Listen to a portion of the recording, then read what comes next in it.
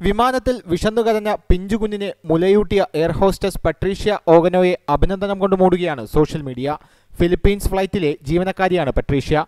കഴിഞ്ഞ ദിവസമാണ് സംഭവം. വിമാനം പുറപ്പെട്ടു തുടങ്ങിയതിനു ശേഷമാണ് ഒരു പിഞ്ചുകുഞ്ഞ് കരയുന്ന ശബ്ദം പട്രീഷ്യ കേട്ടത്. പട്രീഷ്യ അടച്ചു നിന്ന് കുഞ്ഞിന്റെ അമ്മയോട് കുഞ്ഞിനെ മുലയൂട്ടാൻ ആവശ്യപ്പെട്ടു.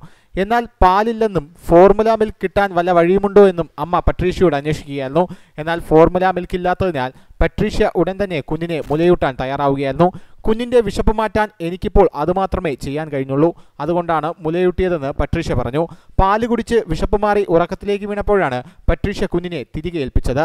ഒൻപത് മാസം പ്രായമുള്ള കുഞ്ഞിന്റെ അമ്മയാണ് പട്രീഷ പട്രീഷ തന്നെയാണ് തന്റെ അനുഭവം ഫേസ്ബുക്കിൽ ഷെയർ ചെയ്തത്. നിരവധി പേരാണ് പോസ്റ്റ് ഷെയർ ചെയ്ത് അഭിനന്ദനം അറിയിച്ചിരിക്കുന്നത്. News desk Malayalam Express.